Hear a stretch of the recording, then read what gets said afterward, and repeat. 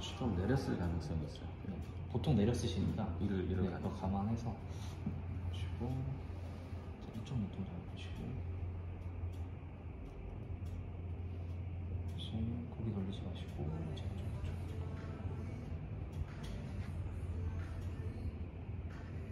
어, 자, 벗었어요. 근거리 한번 찍어볼래요? 혹시 근거리. 모르니까. 알겠습니다. 제가 이걸 한번 네네 볼게요. 한번 봐주세요.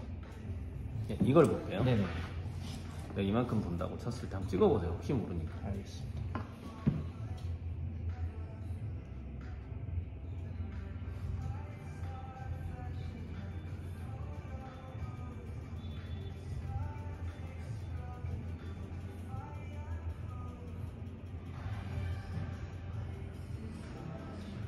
맞나요? 네, 저 벗어서 주시면 제가 한번 표시해서 볼게요. 예, 막 너무 미- 아, 표시가 안 돼가지고. 네, 네, 이게 렌즈에 원래 미끌거려서 아, 잘 표시가 안 돼요. 보이죠? 네. 보이기는? 네. 그러니까 이, 이게 상단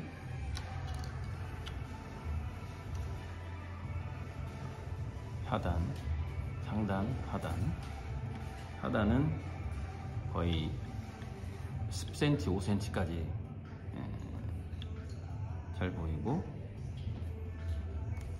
상단은 그냥 이렇게 물감이나 어, 재료를 찾기에 좋은 그러니까 한, 한 2m, 2, 3m까지 잘 보이고 밑에는 어, 5cm, 10cm까지 보이고 한 안경을 다시 맞추는 건데 예, 이거는 이제 출장용으로 하나 맞추는 겁니다.